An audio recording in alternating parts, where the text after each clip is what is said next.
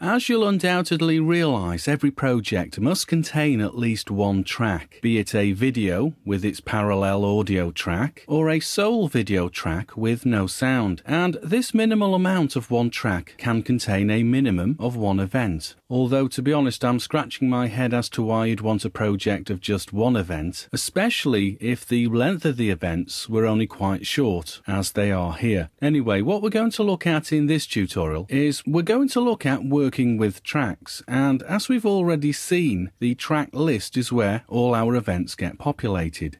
So we'll look more closely at the track list and how we can navigate around any events we've got on our track list by using the navigation and zoom buttons. So, as you can see, here I've got four tracks, and these are made up of two pairs of two video files with their associated audio components. Incidentally, remember what I said earlier about video tracks higher up the track list obscuring any of those video tracks below?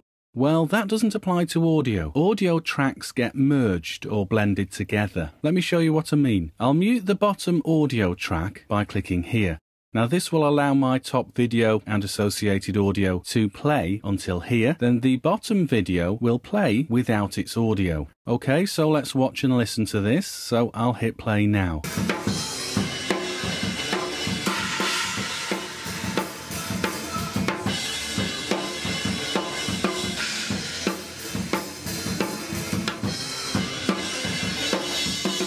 Right, lots of drums for video 1 with its embedded audio, and then because we muted the audio for video track 2, then the band played away, but we couldn't hear the audio. Right, I'll now unmute the second audio track.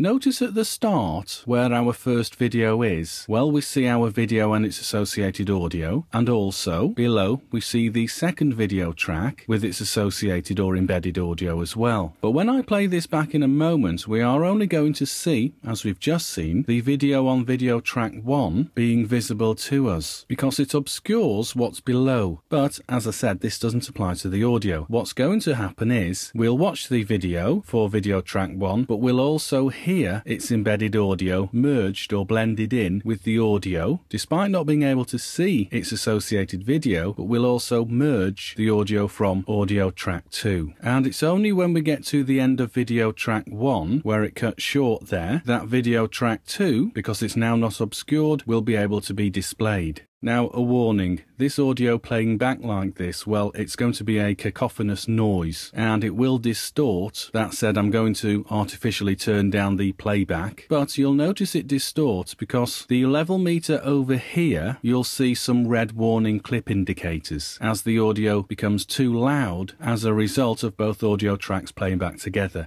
Right, as I say, be warned, here goes.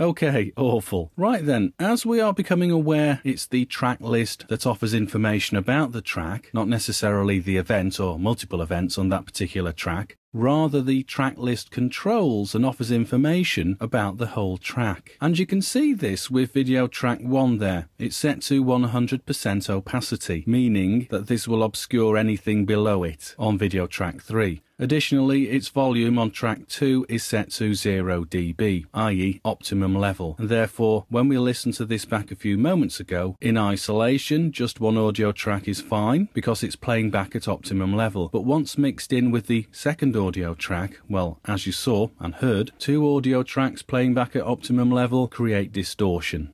Now, if you want to resize these tracks or scroll around, then by moving right over to the right of our screen, then you'll notice this vertical slider, this vertical scroll slider, which allows me to just drag down to move down to all the lower tracks or of course back up again. We have seen this previously.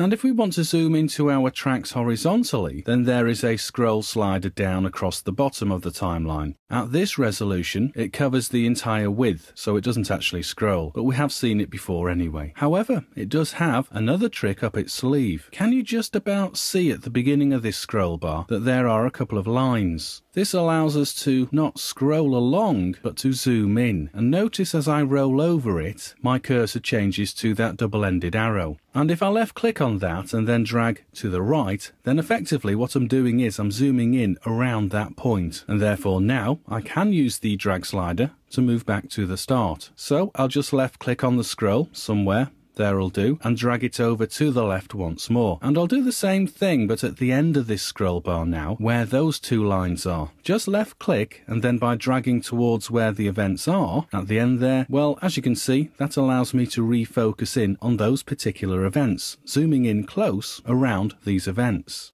Okay, and right down in the bottom right hand corner, you'll also notice that there are some zoom in and zoom out buttons where we've got the plus and the minus buttons, plus being the zoom in, of course. I'll click this a couple of times and then the minus button to zoom out again. You'll have noticed we also get duplicate plus and minus zoom in and out buttons there, and this is for the vertical axes. Now this adjusts the track height. Now I'm not going to use those just yet, we'll see them in action in a second. And another way that we can zoom in on a specific area is to grab this, well it looks like a magnifying glass. Simply click on there and this is the zoom edit tool. And then once you've got it selected, come over to an event, left click and drag a range. And instantly, once we deselect, then that particular range short as it is, fills our timeline. Okay, we've zoomed in by that much. Okay, now I'll use my horizontal scroll minus button at the bottom there to zoom back out again. And now I will adjust my track height too by clicking here a few times.